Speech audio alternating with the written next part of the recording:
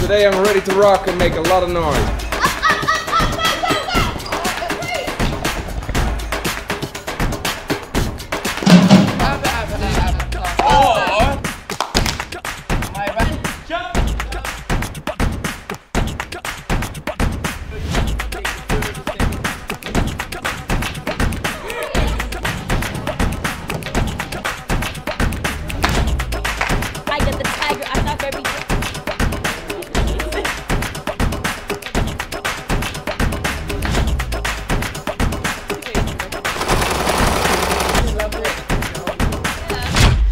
To make sure that you are proud of what you put on stage.